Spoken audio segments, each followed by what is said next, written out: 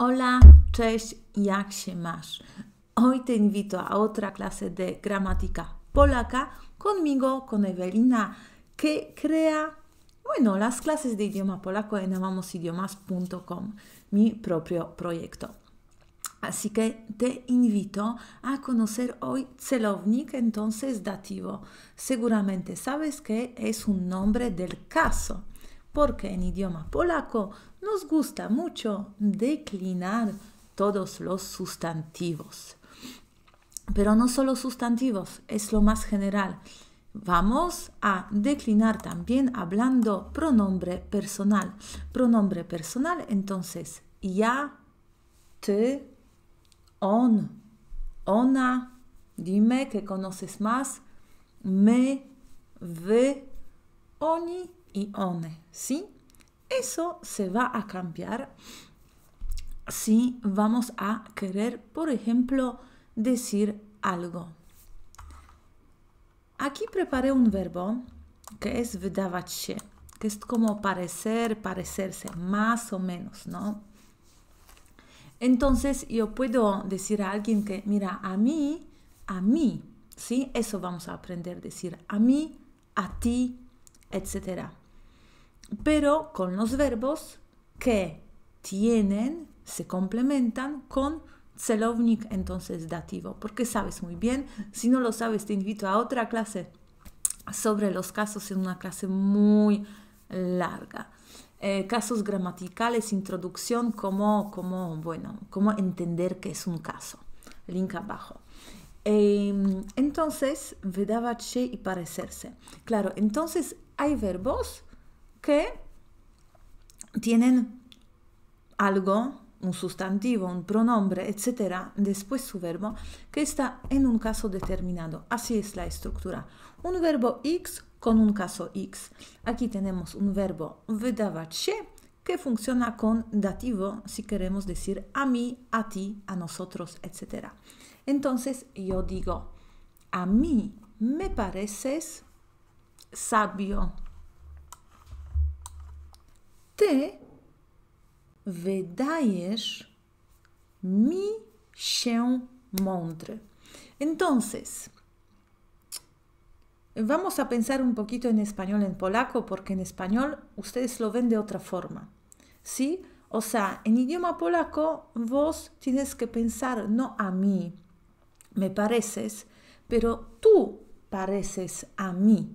Sí, tú pareces. Entonces, ¿Quién parece? Tú. Entonces, ty wydajesz mi, a mí, się mądry. Y adjetivo. Excelente. Ahora vamos a cambiar el tema. Que él, él me parece guapo. O sea, ¿quién parece? Él. Entonces, on.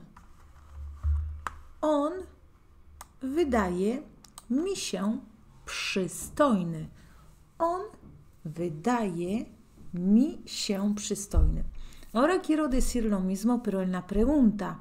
Hablo con mi amigo, amiga y quiero, o amigo, quiero conocer su opinión. Eh, según tú, o según vos, o según usted, esta persona es guapa, ¿sí? Guapa en polaco es solo masculino, przystojny. Ajá. Eh, hay todo el artículo de blog en mi página web eh, donde hay cumplidos y para hombres y para mujeres. Así puedes ver qué palabra usar, ¿no? Que przystojny es solo para hombre y para mujer quizá es ładna o piękna. Ok, entonces on wydaje mi się przystojny. Świetnie. Entonces ahora vamos a preguntar, ¿sí? a alguien, eh, ¿te parece guapo? Entonces él parece, on wydaje, a ti, ci się przystojny, on wydaje ci się przystojny. Puedo preguntar lo mismo, pero a todo el grupo de mis amigas o amigos. Eh, él le parece a ustedes, a ustedes, vam entonces él parece, on wydaje się wam, on wydaje wam się fajny, ¿sí? Divertido, piola, copado, chévere, etc. On wydaje wam się fajny? Ok, perdón, estoy un poquito, un poquito enferma. Entonces, hace mucho frío ahora. E, ty wydajesz nam się bogaty. Entonces podemos decir, tú, tú tienes pinta, tú nos pareces rico. Entonces, ty wydajesz nam się bogaty. Ty wydajesz nam się bogaty. Y ahora vamos a cambiar para decir ellos.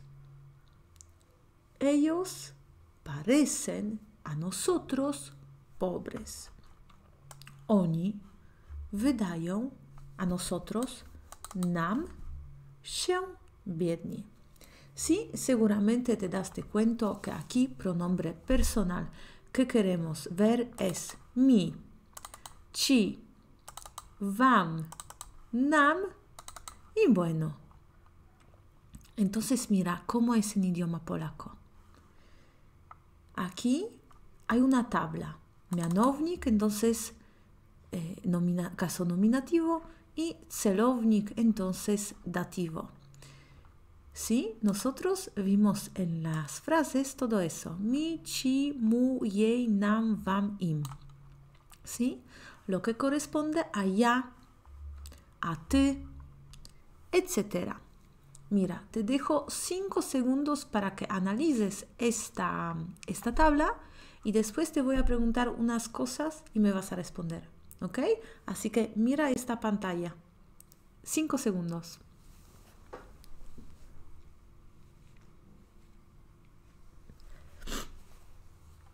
Perfecto. Entonces, ya sabemos que necesitamos un verbo que se junta con caso celovnik, entonces dativo. Y aquí tenemos otro verbo que es gustarse, podobać się. Y este verbo también funciona de la misma forma. Lo mismo, podoba, mi się. Entonces yo te pregunto, ¿qué te gusta en Polonia? Co podoba Ci się w Polsce? ¿Sí? Hay la gente que también pregunta, ¿co się tobie podoba w Polsce? Porque la verdad es que hay dos posibilidades, pero eso ya es otro tema de la clase que está en módulos eh, privados, ¿sí? en los cursos autodidactas en mi página web, donde hay que suscribirse afuera de YouTube. Entonces, co podoba Ci się w Polsce? Bueno, y yo voy a decir, a mí me gusta eso, eso, eso. Entonces, a mí podobają mi się góry. Podobają mi się korki w Krakowie. Sí, ojo que aquí había el verbo en singular y aquí tengo el verbo en plural. Sí, porque de verdad lo tengo que ajustar como en español. Me gustan las montañas. No, me gusta las montañas. ¿Sí? Lo mismo. O sea, nuestro de verdad sujeto se encuentra al final y a este tenemos que ajustar este verbo en singular, en plural. Podobają mi się góry. O, podobają mi się korki w Krakowie. Świetnie. ¿Qué gusta más a mis estudiantes? Porque como sabes todo lo que hacemos en YouTube, lo que doy a toda la comunidad, toda la gente, es porque primero hicimos ejercicios o mis alumnos de los grupos tuvieron dudas o era un comentario en mi curso autodidacta, en la membresía, o sea, todo que vemos de manera gratuita en YouTube o Instagram son las dudas de mis estudiantes. ¿Sí? La verdad, ellos preparan la clase y bueno, y yo con mis conocimientos gramaticales o de la no sé, sensibilidad lingüística que tengo, bueno, veo algunas cosas y les explico en el momento y bueno, lo que queda un poco fijo presento aquí. Entonces, podoba mi się żurek. Podoba mi się architektura w Polsce. Y lo mismo, pero, ¿no? Porque eso era yo y tú. Ahora tenemos nosotros, vosotros, ¿sí? Porque podemos hablar no solo a una persona, podemos hablar a un grupo y otro grupo también va a hablar. Entonces por ejemplo, preguntamos a una pareja, czy podoba Wam się, czy podoba Wam się, a ustedes, Wam? Tak, podobają nam się pierogi. Aha, nos gustan. Está raro un poco, podobają mi się pierogi. Podoba es algo más físico, más eh, que puedes tocar, pero puedes decir, sí, podobają mi się pierogi, sí, sí, son lindos, etc. Puedes decir. Oh, este, por ejemplo, pega un poquito mejor. No está mal dicho, pero bueno. Tak, podoba nam się zamek wawelski. Sí, si viajas. Tak, podoba nam się zamek wawelski. O en plural, la misma frase, ¿te acuerdas que el verbo se ajusta? Aquí tenemos sustantivo zamek en singular y aquí zamki en plural. Entonces, por esta razón, como aquí era singular, el verbo va a estar en singular. Podoba nam się.